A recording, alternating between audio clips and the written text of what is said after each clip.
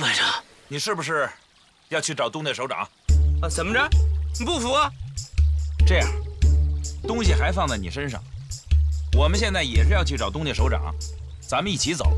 我们保证你一定找到东家首长，那会儿你再把东西交给首长，这总行了吧？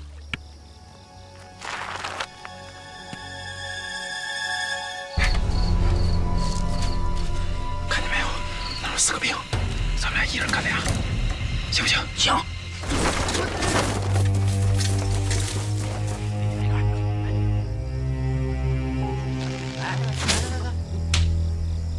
老爹，您听我说，您想的太容易了。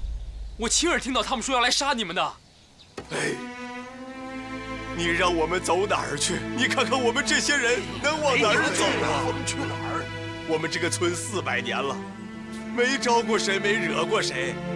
这些年，一会儿是中央军，一会儿是保安团，今天来了，明天就走，来一次就把我们糟蹋一次。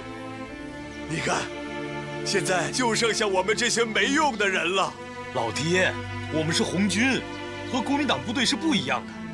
我们的革命是为了咱老百姓以后能过上好日子。好了，我不听这些，这些我听过。我们村的年轻人就是听了这些话，所以家家不要了，爹娘、老婆、孩子都不要了，跟着你们跑了。结果到头来，遭殃受罪的还是我们这些人呐。老总，我知道你们正在找你们的人。这样吧，我把人交给你们，这儿有我们的人，在祠堂的地窖里。老弟，现在就带我去找，快！来来，跟我来。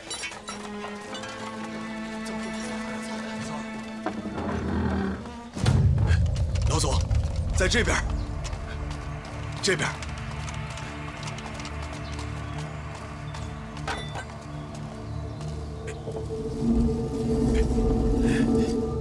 老总，就是这儿。进去。是。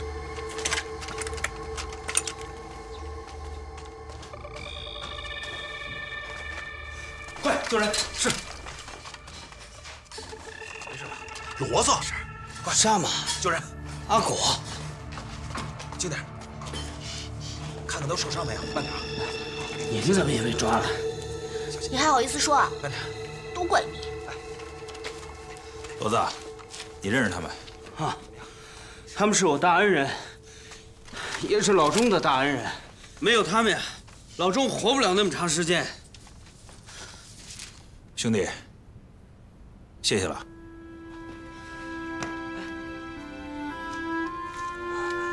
同志，啊，你们是哪个部队的？我们是三团的，跟大部队去黎平的路上，和国民党部队交了火，我们几个走散了，后来就被抓到这里了。没关系，后面咱们一块走。好，这怎么怪我呢？你还好意思说啊？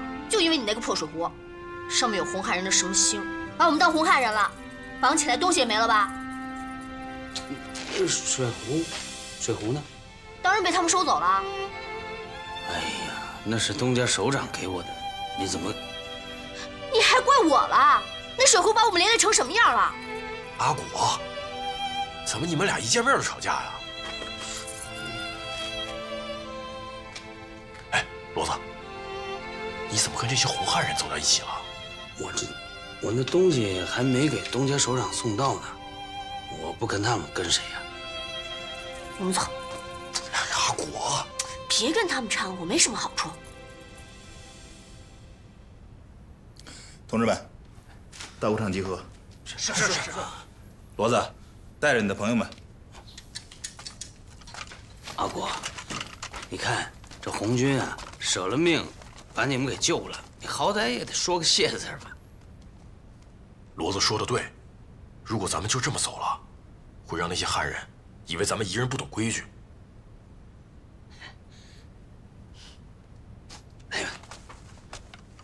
啊。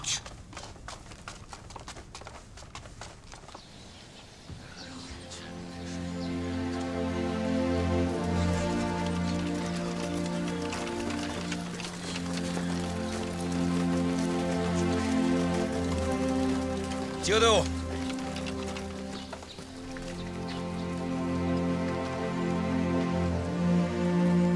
人都齐了吧？待会儿别给乡亲们添麻烦。找好装备。这孩子怎么了？都已经四五天没吃东西了。四五天没吃，这怎么行啊？抓紧时间。是是。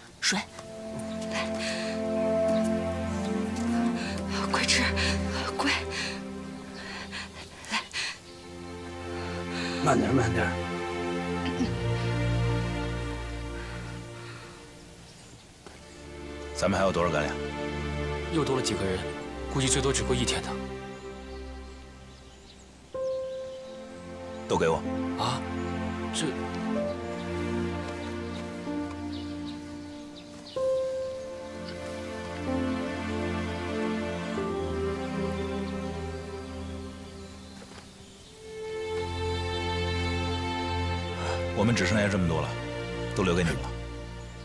给村里的老人、小孩都分分。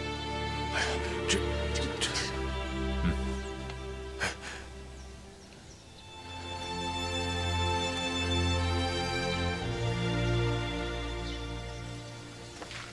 出发，向右转，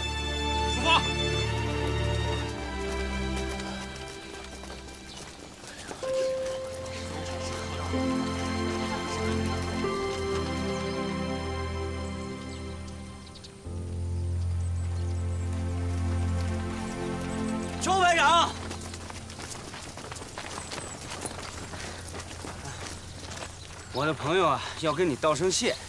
谢就不必了。你们要去哪儿？回寨子，寨子在什么方向？在那边，穿过林子。行，路上多小心吧，别再被抓了。放心吧，你们也小心。骡子，嗯，跟我们走吧。跟你们走上哪儿啊？回寨子啊。我回寨子干什么？我还得送货呢。你给他们捎过去不就完了？哎呀，这你就不懂了。像我们干这行的呀，这个货得亲手交到正主手上。哎，这是规矩。嘿嘿，死心眼，随你吧。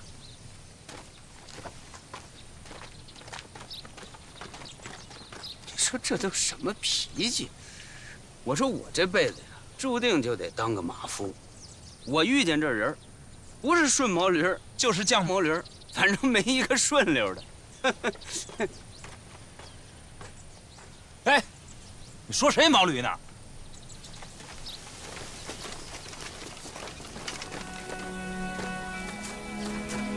阿果，你说咱们本来跟他们顺路的，你这非往山里跑是为什么呀？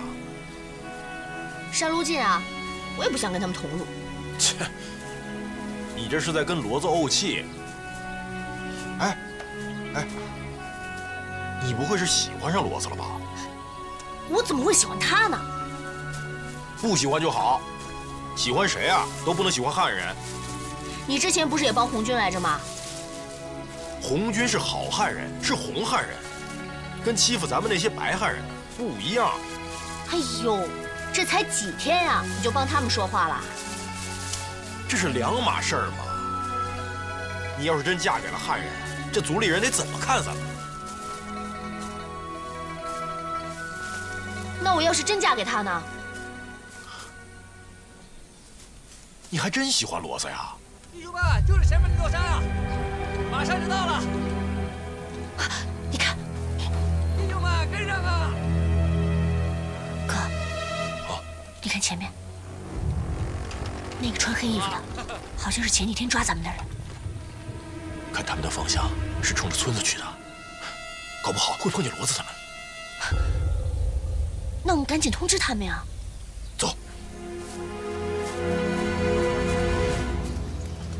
排长，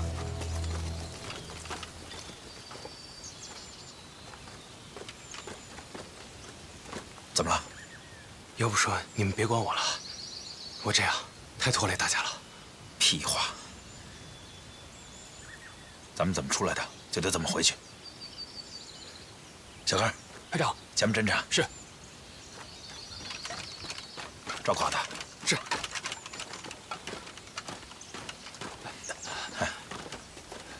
骡子，你根本就不用跟着我们这么走。你看看这一路多少事儿，你还得跟我们一块儿担惊受怕的。你说你一个小老百姓，你就踏踏实实过你老百姓的日子不就完了吗？哪儿还有日子过？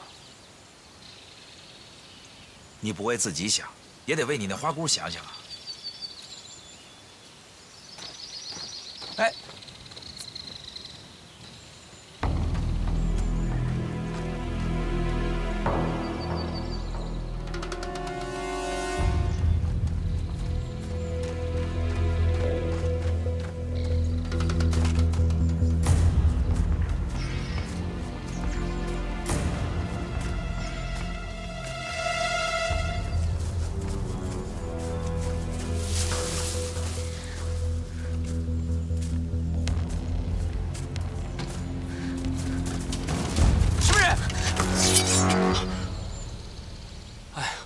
么是你们啊？你们不是走了吗？咋又回来了？怎么只有你一个人？骡子他们呢？骡子他们在后面，还有二里地，发生什么事儿了吗？我们在前面发现了一队白军，肯定是来抓你们的，赶紧去告诉他们。有多少人？数不清，反正很多。跟我来。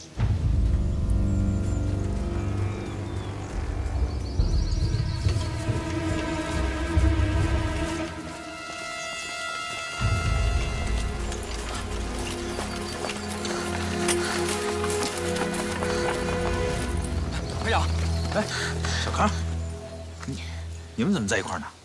我们刚才在山上看见一群白汉人的军队正向这边开过来，离我们有多远？按时间算，大概还有二十里左右。那里面有当时抓我们的保安团的人，应该往村子里面去了。往村子里去了。你们跟我们一起走吧，山上有近路。不行，我们全都进了山，村里的老乡怎么办？保安团找不着我们，肯定拿老百姓开刀。那也怪不得咱们啊！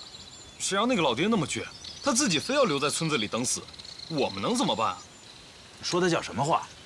还有那么多妇女跟孩子呢。这样吧，你带着队伍，保护骡子，一起进山。那你呢？我一个人回去。万一他们要是不走呢？不走怎么了？我能保住一个是一个。那你一个人回去又能做什么？这不是能不能做，是咱们该做些什么。那地方三面环山，出来的路只有一条，你万一让人堵在那儿，出都出不来，这就是送死。去了还有什么意义？有意义。红军跟老百姓本来就该在一起，他们可以误解咱们，可咱们得做好咱们自己该做的事。你想想，如果是咱们的亲人全在村里呢？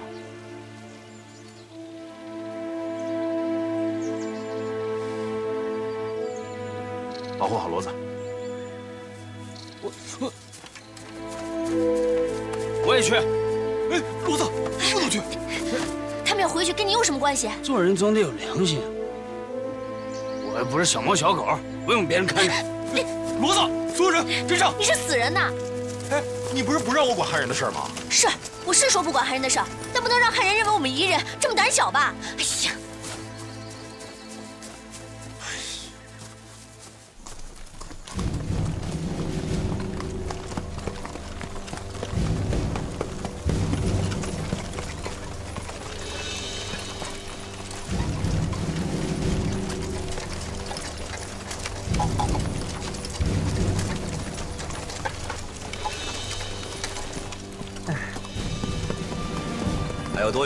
没多远了，太阳落山之前，我们一定能赶到。你带一队人马到前面去看看。啊？我？嗯，怕了？没怕。跟我走。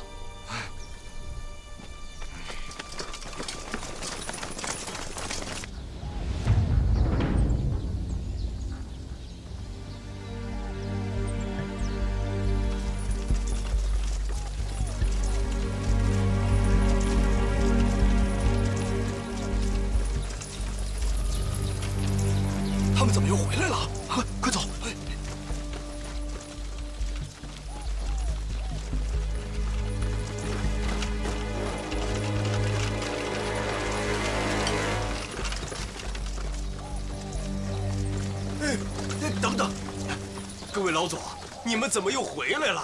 呃，我们不是已经帮过你们了吗？你们的人我们也交给你们了。老爹，我们回来是想告诉你，有一队国民党军队正在往这儿赶，你们得赶紧躲起来。哎呀，他们就是冲着你们来的，我求求你们赶快离开吧！你们走了以后就没事了。老爹，您怎么还这么固执呢？国民党是不会放过你们的。乡亲们，国民党的队伍马上就要打进来了，他们进来就会屠村的。你们在这儿不是等死吗？你们不顾你们自己，也得顾顾你们的孩子呀！我说老爹啊，我们都出去几十里地了，又返回来，你说为什么？不就是担心你们吗？你怎么不识好人心呢？你比我还倔呢！好了好了，什么也别说了。你说我们祖祖辈辈就住在这儿，我们能往哪儿走啊？我求求你们！怎么？有一队白狗子朝我们方向过来了，这么快？可能是先头部队。老总，别开枪！里面有红军！弟兄们，有赤匪，一个都不能放过！老总，老总村子里有红军！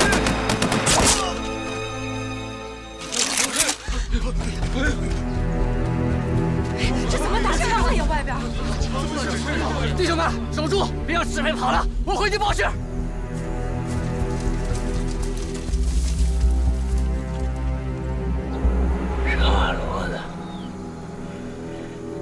扛着这一大堆金子上哪儿去不好，非得回来送死。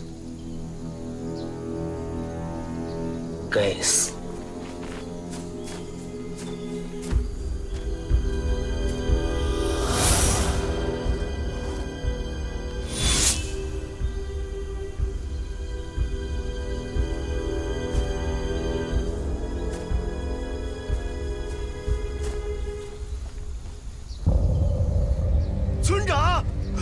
村长不好了！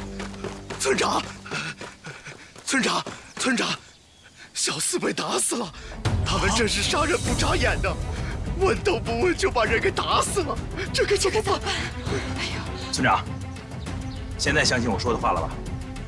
乡亲们，咱们还是赶快找地方躲起来吧。要是一会儿真打起来，就顾不上你们了。乡亲们，赶快躲起来，快躲起来啊！快！同志们，各自找掩体，准备战斗。是。排长，保安团留下很多枪，没来得及销毁，这回派上用场了。好，我估计他们大部队过来还要一会儿，咱们有时间准备。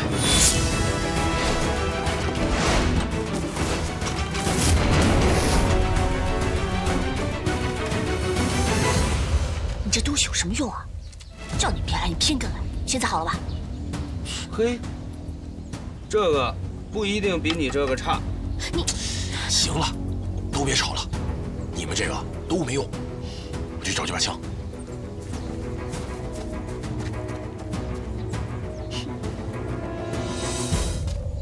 邱排长，怎么样？你过来了吗？没有呢，他们都在村外，估计不知道村里的情况，不敢贸然进来。邱，邱排长，这这是一个加强连的兵力啊！咱们一个人要将近对付他们二十个人。好，天快黑了，在天黑之前，咱们要避免跟他们正面交火，让他们摸不清楚咱们到底是什么实力。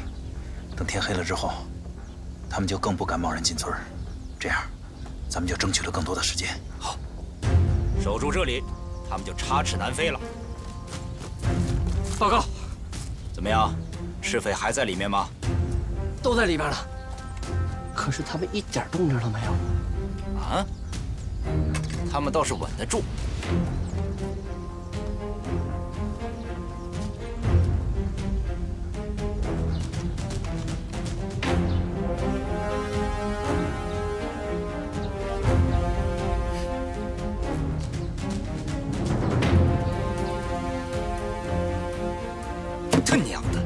敢挑衅！长官，这帮赤匪好像知道我们要来呀、他们为什么不跑呢？要不咱们冲进去吧？不，他们敢这样有恃无恐，一定是有准备。天快黑了，敌情不明，不可冒进。你看这地方三面环山，他们飞不出去，就让他们再活一个晚上。传我命令，部队原地修筑工事，通知家里，尽快送两门步兵炮过来。今天晚上谁都不许睡觉，把村子给我围死了，一只苍蝇都不许飞出来。是。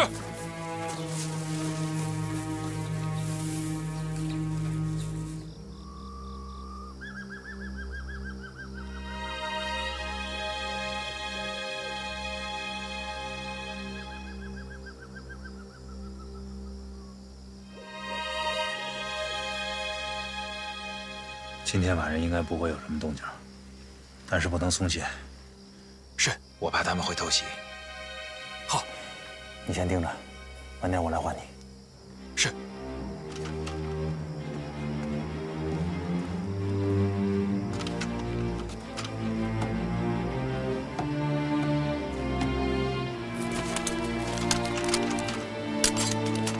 排长，怎么样了？估计明天早上就得动真格的了，得想办法把他们引到村里来打。对，跟他们打游击，这个咱们拿手。嗯，先削弱他们的力量，然后找个机会突围。嗯，这样，一会儿你跟小刚再去村口盯一下，我带其他人抓紧时间休整一下。是。这说句心里话呀，我觉得这些兵跟以前的兵可真不一样，人家对咱多好啊。就是啊，咱们到现在都不相信人家。本来人家都走了，又跑回来救咱们。是啊，人家图个什么呀？连命都搭上了，可不是吗？早就该相信他们，现在已经晚了。国民党把咱们这儿都包围起来了，红军能不能守住还不知道呢。还不知道呢，这可咋办？爹，咋办呢？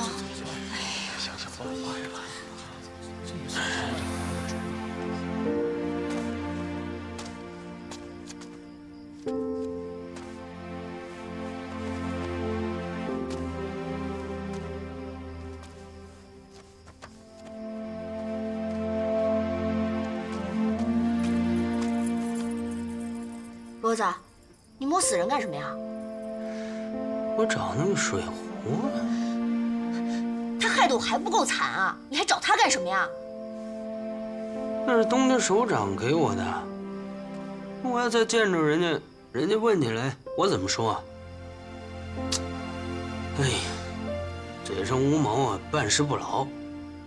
你说你要看得仔细点，怎么能让这些保安团发现呢？你还怪我？在你眼里，我连那个水壶都不如吗？没良心！早知道那天我在湖边，我就捅死你。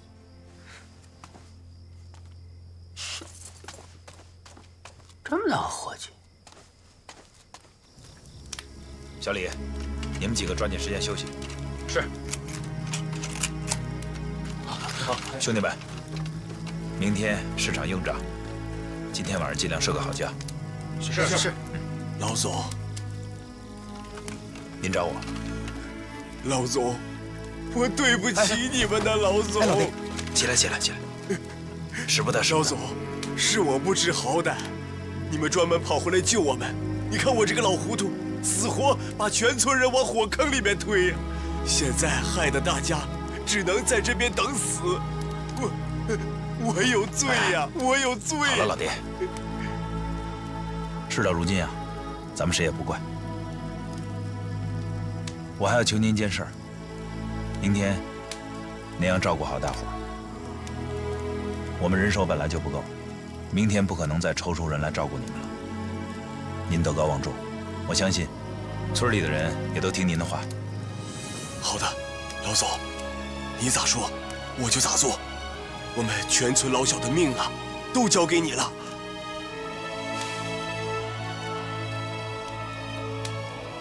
老弟，说实话，明天到底守不守得住，我也说不准。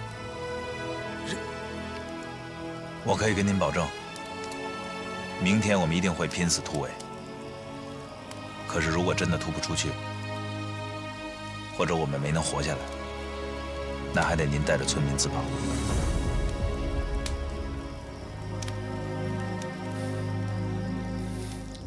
我懂。阿果，哎，你这上哪儿去啊？不用你管。哎呀，呃，是我不好，我这个嘴上没把门的，赖我。其实你这个人呢，就跟老钟说的似的，你是，嗯，刀子嘴豆腐心，对不对？哎，你看你救过我，你也帮过我，这次来我也知道，你就是怕我出点什么事儿，呃，特意来看我的。我就不应该在这个水壶这事儿上再挑你什么，是不是？算你有良心。那你说，水壶重要还是我重要？那当然是人重要，但是水壶也重要。逗你呢。行，那我帮你找水壶，你怎么报答我？那你说怎么着就怎么着啊？哼，你说的。啊，走。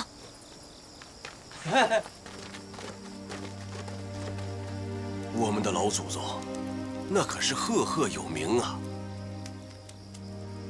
祠堂后面那个大旗杆，大旗上面写着“无欲求人”这四个字，可是我们的老祖宗为我们立下的祖训呢。哎，我们村的人，祖祖辈辈、世世代代都遵从祖训，不做官，不经商，不远行，与世无争。可这几十年，岁月动荡，兵荒马乱。一夜之间，不知道从哪儿冒出来这么多的军队，每一个到我们村的兵老总，都要把我们洗劫一遍呢。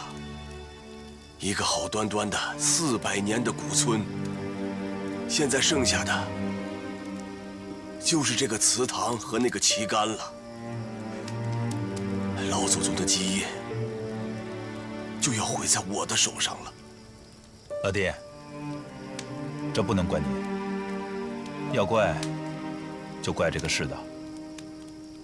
这个世道不让人活呀。老祖，我有件事情想不明白。现在任何人都可以欺压我们这些安分守己的良民，任何人都可以不把我们的性命放在心上，可是为什么你们偏偏把我们的性命？看得比你们的性命还重要呢，因为我们是一样的人。您看到的这些红军，他们原来都是苦巴苦做、安分守己的穷苦人。可这世道不给咱们穷苦人活路，我们就只能自己拿起枪杆子，自己打天下。你是说，我们可以自己做天下？为什么不能？这天下什么人最多？穷苦人。老百姓，这天下就该是老百姓的。只要大伙一条心，这天下就能夺回来。只有把天下夺回来，咱们老百姓、穷苦人才能真正的翻身做主，才能不受任何人的欺压。所以，您说咱们是不是一家人？这红军，就是咱们老百姓自己的队伍。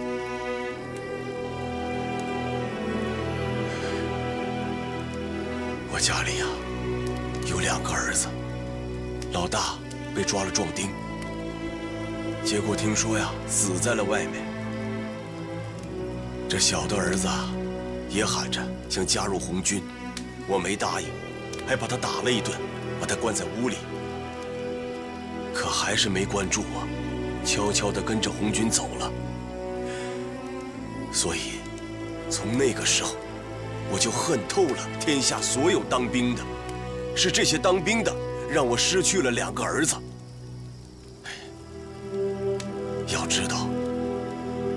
家的，就是像你们这样的军队。你说，你说我还拦什么呢？很长时间都没有他的音讯了，也不知道他现在是死是活。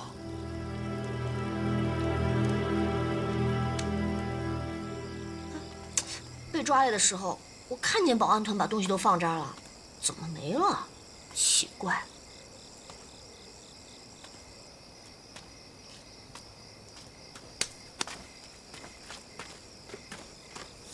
哎，哎，没事的，丢了就丢了。明天能不能活着还不一定。骡子，你怕死吗？怕，以前怕，现在不怕了。为什么呀？什么都没了，活着不活着，就那么回事儿。家没了，爹没了，弟弟没了，连花姑都没了。花姑姐姐她怎么了？死了，让抓你们的那个保安队长给害死了。这才几天呀，发生这么多事儿。不提了。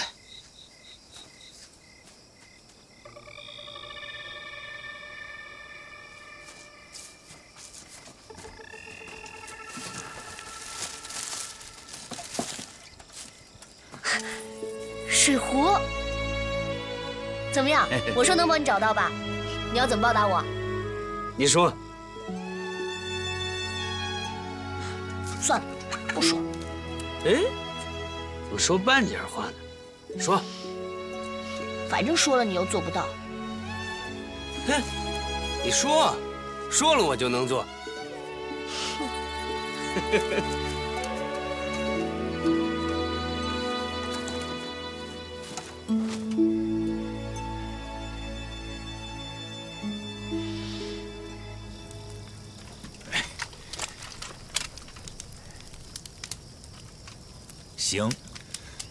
真是好家伙。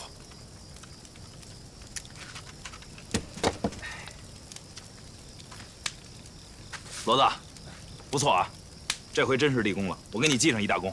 哎，不，呃，这是阿果找着的，那也给阿果记上一功。老彭在，要是这么一来，咱们的作战计划还得调整一下。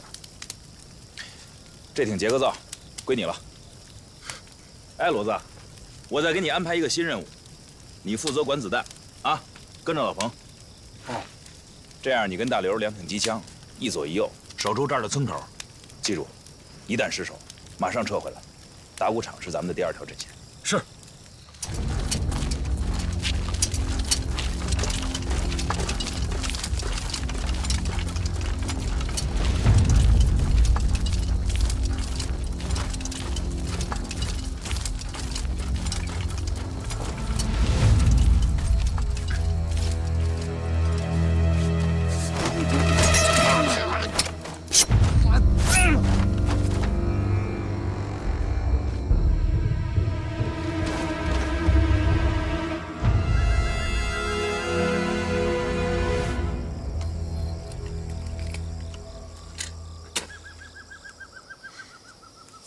小康，你这咋还抽上烟了？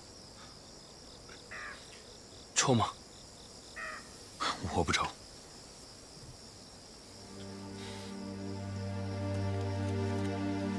这么认真，看姑娘呢？我从小就没有爹娘，是三个姐姐把我带大的。想他们了？当初是我自己跑出来的。现在也不知道他们怎么样了，他们肯定急死了。我比你好点，怎么说呢？四年前我外出做木工，谁知道老蒋和阎锡山打仗，这战场就发生在我家门口，一家人一夜间都让炮弹给炸没了。我爹，我娘。我婆娘还有两个娃儿，一个也没剩下，所以我现在什么牵挂也没有了。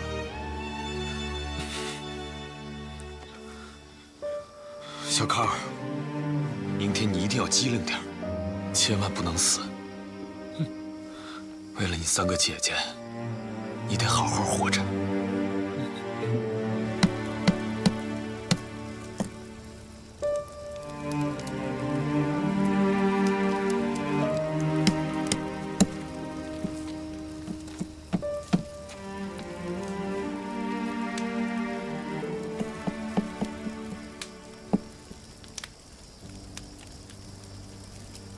骡子，你说我们明天会不会死啊？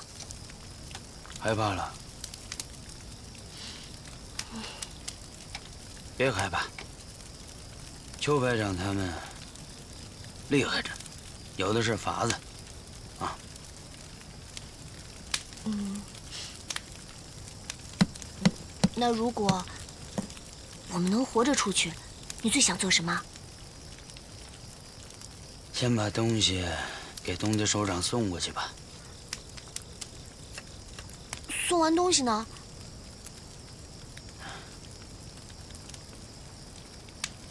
给花姑报仇。报完仇呢？报完仇？没想过。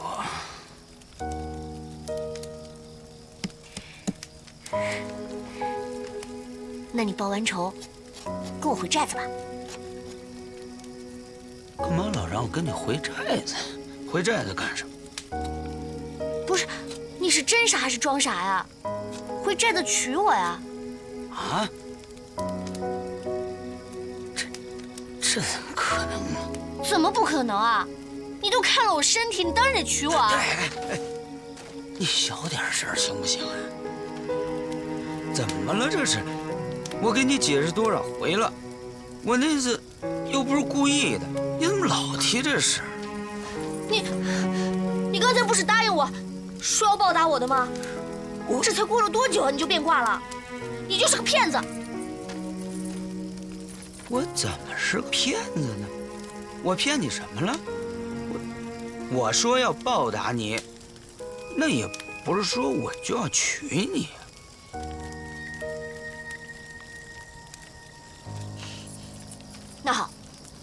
那你现在就当个骗子。不是，这哪能说骗就骗呢？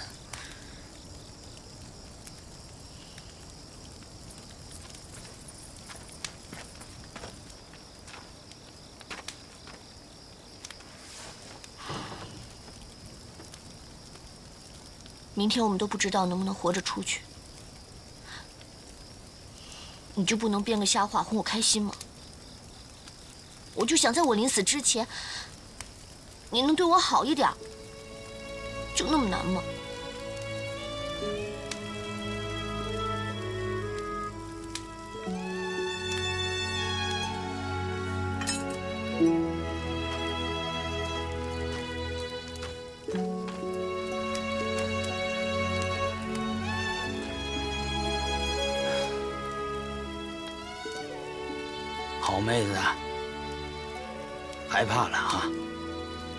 咱不怕，没事死不了。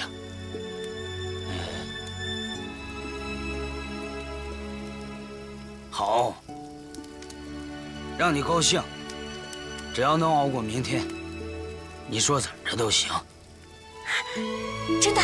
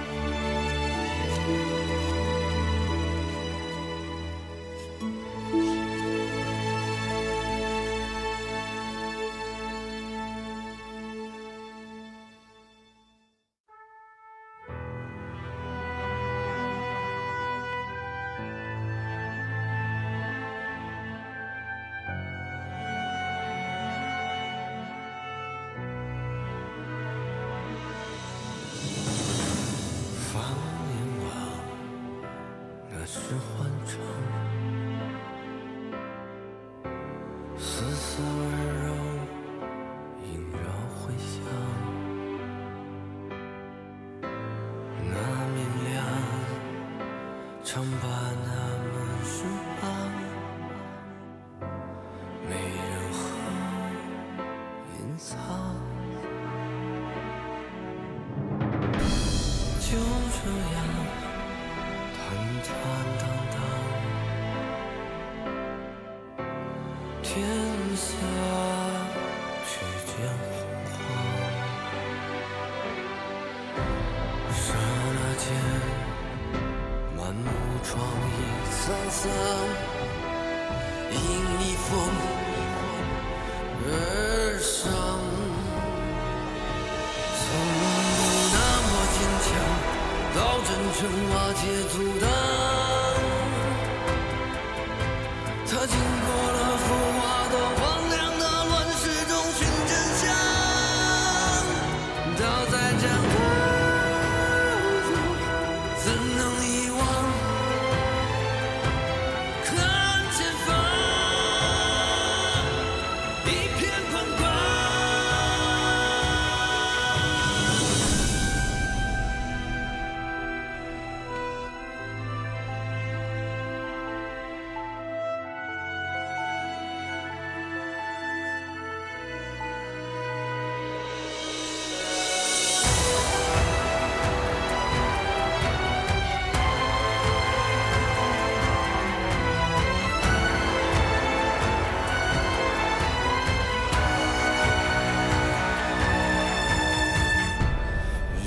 倔强，寻安康。